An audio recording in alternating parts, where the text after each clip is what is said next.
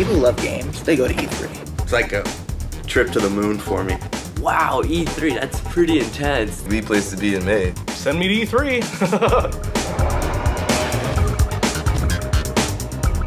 It's that time of the year again when PlayStation Underground's most elite members, the Gamer Advisory Panel, compete head to head for a chance to go to the most intense gaming event of the year, E3.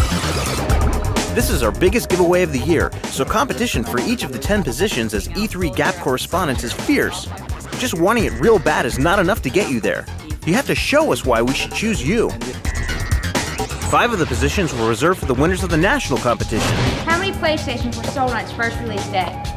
Wrong! Over 100,000. We received everything from artwork and PowerPoint presentations to original comic books, essays, and even homemade video games. With all this talent on our hands, narrowing it down to five winners was no easy task. But narrow it down we did. In addition to the national competition, PlayStation Underground opened its doors to GAP members local to the LA area who also got a shot at five of the 10 coveted E3 correspondent positions. The on camera edition in Los Angeles was heated, with lots of first time competitors going up against some seasoned veterans. Everyone had a plan for how they were going to capture the attention of our judges. Oh yeah, today I prepared a nice little routine of jokes and uh, some impressions. I boned up on my game knowledge a bit. I got a haircut. I prepared a little uh, stand-up comedy skit kind of thing. Can I just wing it? Let's go talk to the people and let the chips fall where they may. I have no idea what I'm doing. I'm just gonna rattle on, you know, like I normally do, because I can talk. I can really talk. Give me suggestions on what, what kind of things. What makes a good audition when you only have a few minutes to blow us away? E3 is my mecca. First off, you need to come on strong and let us know you're not just an ordinary gamer. I am the biggest gamer. They're my life. I that's all I do. That's all I do every day. I don't even think I've eaten at all today because of this thing. If I'm not working, making a living, I'm playing games. I've been an avid gamer all my life. I just love to play games. I'm more than your average gamer. I've loved games. I've grown up with games from the very beginning. I play them constantly. I put it on hard. I don't put it on easy. I don't use cheats. I'm huge into games right now. I'm a, a lifetime gamer. I'm a rocket scientist by day, and I am a gamer by night. Secondly, you've got to tell us something unique about who you are as a person. I look good in nice clothes? I'm very informative. Because I'm tall. I can read, I can write, I can talk clearly. We drove over from Vegas just to do this. I have a very acerbic sense of humor. I got a unique face. I tend to be double jointed in the weirdest locations. Okay, I'm not a kid. True. I got a decent look. I got a camera face. How's that for you? I'm fairly bodacious. I have 17 years of airline experience. I've always been good on the camera. You'll have to impress us with your amazing talent. After all, this is E3 we're talking about. You'll need some serious skills to get to go to the most eye-popping, brain-sizzling video game extravaganza. Freestyle action, you do some crazy dances. Oh PSP, oh PSP, wherever I go, there you'll be. You know, Louie, sometimes you gotta do what you gotta do. There's so many great actors here, like Johnny Depp. Every time I ask my father for permission to play video games, he would give me this lecture about how lucky I am to be in America. Visual aids are also a good way to sway the judges. nice. I. I even drew a DDR pad. all four controller ports in, so you can just play all four controllers. Drinking us out the mud. So Of course, it helps to have a passion for games. My edge over anyone else, I believe, is just my game knowledge. Do you have any Neo Geo games? That it's a dual core 64 based system that has four SPU chips. My whole life has been surrounded by or infused by electronic entertainment. But most importantly, you need to convince us that you have the best reason for wanting to go to E3. Talk to all the booth girls. The booth babes and the booth girls. Booth girls. Booth girls, that too. Okay, that's not enough to get you to E3, but better luck next year, guys. At the end of the day, our judges were truly blown away by how far our GAP members are willing to go to get to E3. There's going to be some awesome stuff that's coming out this next year. Then it was time to select the five they believed earned a spot on the PlayStation Underground's E3 guest list. It's game time! Here are the 10 luckiest GAP members from both the national and Los Angeles competitions who made the cut for the ultimate GAP gig, E3.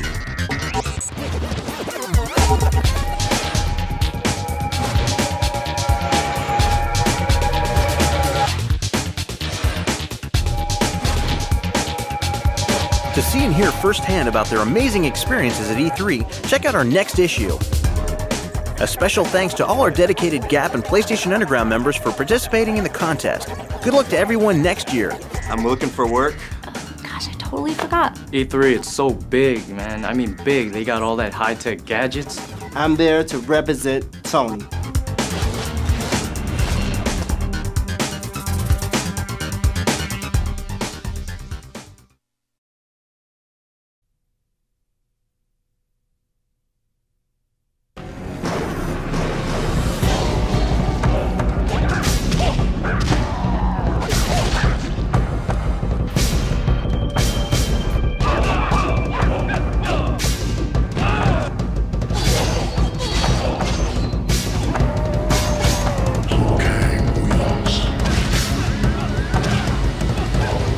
First thing that came to mind when we heard that the original Mortal Kombat team was moving the series into the action genre was if it ain't broke, don't fix it.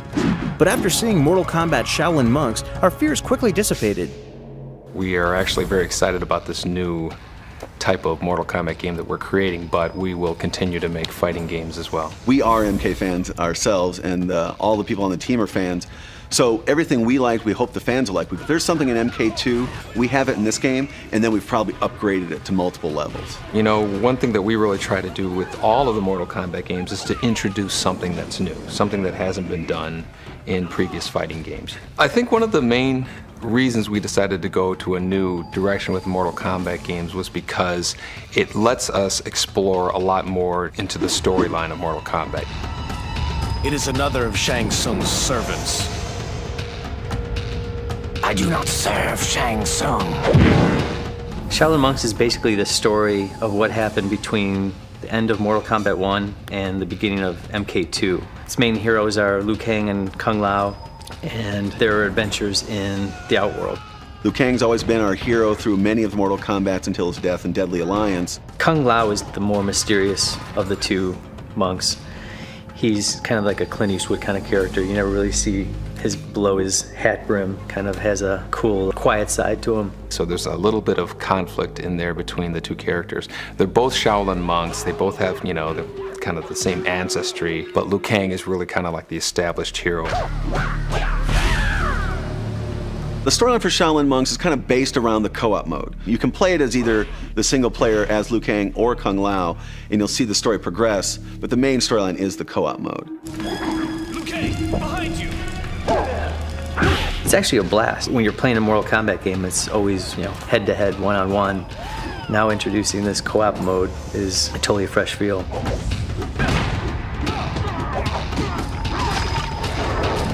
Shaolin Monks makes use of an innovative combat system which allows the player to deliver attacks in any direction at any time, all the while not losing focus on the primary target. Shaolin Monks introduces uh, a new fighting mechanic, which we're very excited about. Basically, either one of the characters can attack in any direction at any time during the play. So when you're surrounded by characters, you know, it's just like kind of like a kung fu movie. You you could punch forward, back, behind you, left, right, pop characters into the air, and it's all completely open to the players. Someone who's good at, at Mortal Kombat Deception or any of the previous Mortal Kombats should pretty quickly pick up the controls from Mortal Kombat Shaolin Monks. We've kept a lot of the combos, a lot of the systems very similar, if not exactly the same. Like if you know a combo for Liu Kang is square triangle, it's probably going to pull off a similar combo in Shaolin Monks. And then the juggling system is where it really opens up. You can get one guy to pop him up into the air, the other guy punches him a few times, slams him on the ground, grabs him in the air, and throws him through a wall, which opens a door to the to the next room. Shaolin Monks also goes beyond the bloodshed with a series of unique challenges that make use of brains as well as brawn. In Mortal Kombat Shaolin Monks, we don't have puzzles that are like turn a lever here, grab a stone and set it down over here. We wanted our fight mechanic to be our gameplay and puzzle mechanism. I really like the death traps that are interactive in the game. There's one scene in the Wu Shi Academy where you have to uppercut the Tarkatans into a catapult, and the catapult you know, pulls back and launches them, and you see the body you know, just sailing across the trees. Still one of my favorites. Fight. 13 years ago, Mortal Kombat exploded onto the gaming scene with dynamic graphics that made its world come alive. Now, over a decade later, the game's designers are challenged with taking those original designs away from its 2D roots. Upgrading the moves and feel of Mortal Kombat from the original to a 3D environment, we took a lot of specific care to make sure those looked and felt right. We would actually look at the moves in other Mortal Kombats as we were motion capturing them and as we were doing things to make them look right. One of the challenges from taking a 2D MK level and turning to a 3D Shaolin Monk level was in MK2, you had one scene that's really memorable, but now you got to take that one piece of the scene and take parts of it, and make it memorable throughout a whole level. This game was like actually a lot of fun to design just because we got to bring up a lot of our old images from you know the original MK1, MK2 and actually explore them further. We were looking at old magazines and old, you know, little clippings we had and dug up a lot of the old files just to see how the backgrounds are built and look at certain characters and how they were originally designed. Especially background-wise, it was fun to just push it farther and farther and make it a world to explore. Previous incarnations of Mortal Kombat are notorious for their secrets, hidden codes, rumors, and cloaked characters. Mortal Kombat games have always had these secrets that we buried into there. And we just want them to be really infrequent events that somebody's going to claim they saw, but since he doesn't have any witnesses to, you know, to back up his story, everybody calls him a liar. Some of these things were true. Reptile was a hidden character in Mortal Kombat 1. A few people saw him, and so when people would see it was actually true, then they would make up their own little lie. Having finished their work on Mortal Kombat Shaolin Monks, designers set their sights on the future of the Pulse Pounding franchise. We're actually very excited about the next Mortal Kombat fighting game that we're doing. Like before, we are introducing, you know, two or three very huge elements to the to the fighting game that, that haven't been done before. So we're really excited about that. I think you can expect to see the biggest roster also of Mortal Kombat characters ever in this next fighter as well. I'd love Shaolin Monks to be the first of many Mortal Kombat action games that we can do in parallel with the fighting games.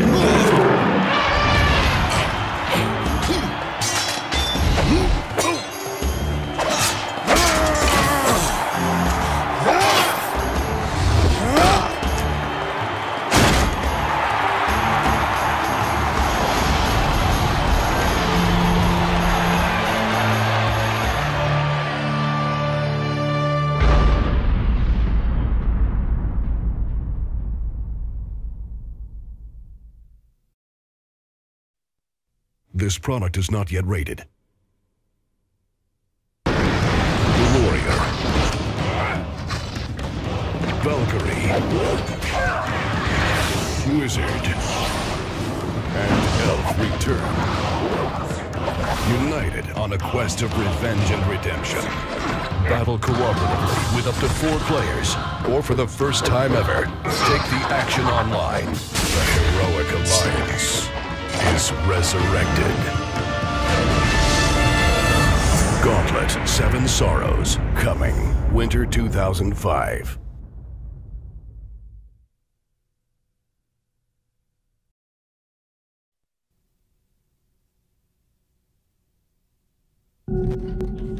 Like you said, he's just an urban legend.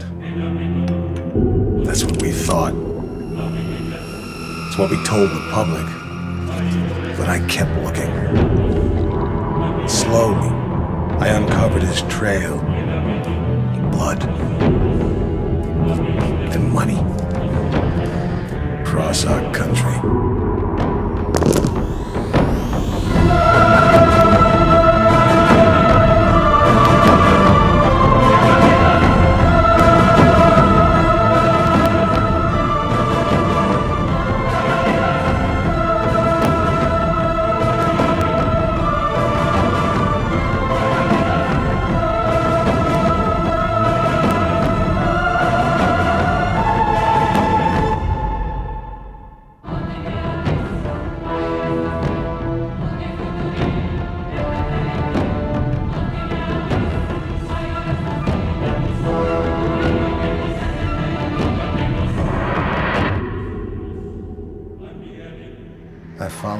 Trail for years,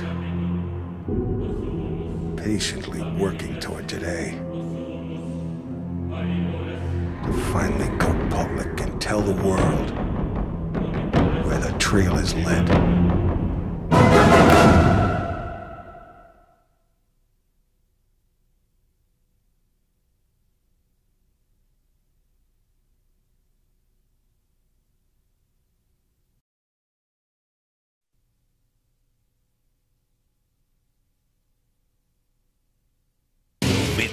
the only street racing game featuring the crew at the world-famous West Coast Customs with intense speeds and killer jumps.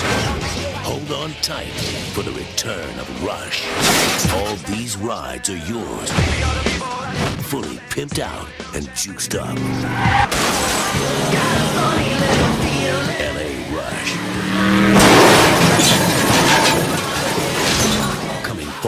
2005.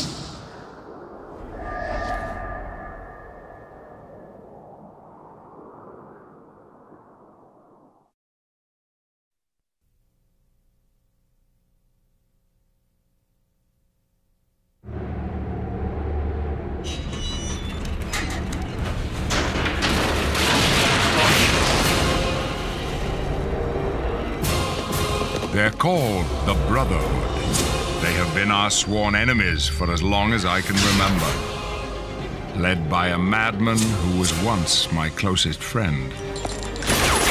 But now, a new evil has surfaced. One with powers beyond comprehension. And those we have battled against for so long will become something we never imagined. Our allies. The apocalypse has begun.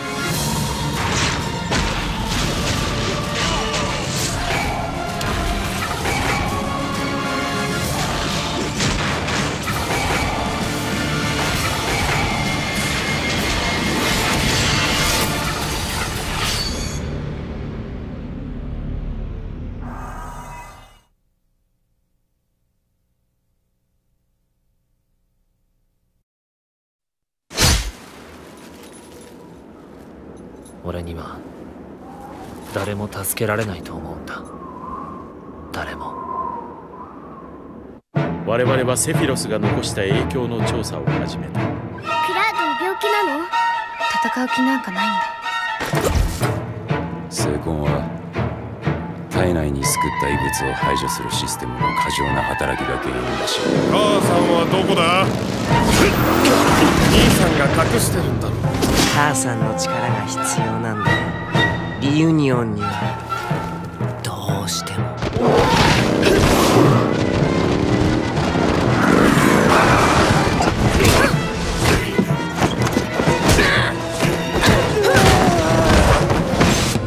星がみんなの邪魔をして僕たちの成長を止めてしまおうとしている。家族で力を合わせて星に仕返しするんだ。来ちゃったね。自分が壊れそうなのに子供たちを迎えに来た。残念だけど裏切り者なんだその気になれば再びセフィロスを作り出すことができる。じゃあそろそろ終わりにしよう